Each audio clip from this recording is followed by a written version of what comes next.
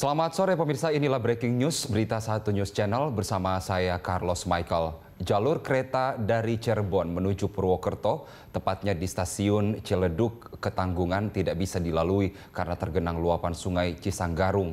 Seluruh perjalanan kereta api di jalur tersebut lumpuh total dan harus dialihkan ke jalur lain.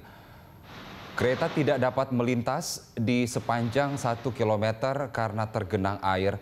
Luapan air juga membawa lumpur dan menghanyutkan sampah sehingga mengganggu jalur kereta arah selatan. Selain itu kondisi rel yang rusak juga tidak memungkinkan untuk bisa dilalui.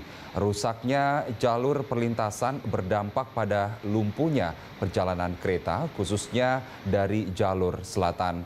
Pihak daerah operasi 3 Cirebon segera mengambil langkah antisipasi dengan mengalihkan seluruh perjalanan kereta untuk melintasi jalur utara.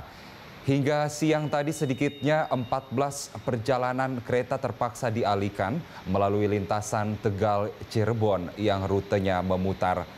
Sementara itu perbaikan rel kereta yang rusak diperkirakan akan memakan waktu hingga 24 jam.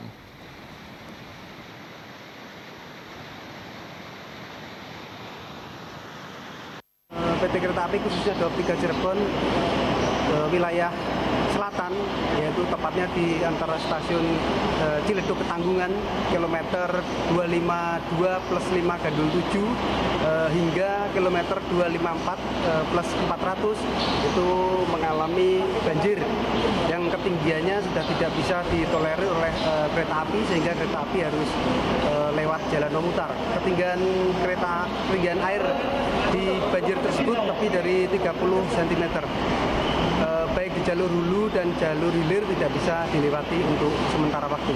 Diperkirakan bisa memakan waktu hingga 24 jam mulai pukul 6 e, pagi tadi.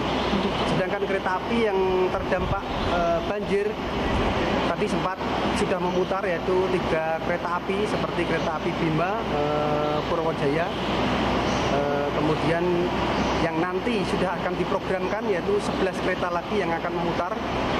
E, disebut memutar karena tidak bisa melewati jalur selatan sebagaimana mestinya. Akan dialihkan melalui jalur e, utara yaitu lewat Brebes Tegal kemudian menuju ke selatan atau ke kanan yaitu menuju e, Selawi Purwokerto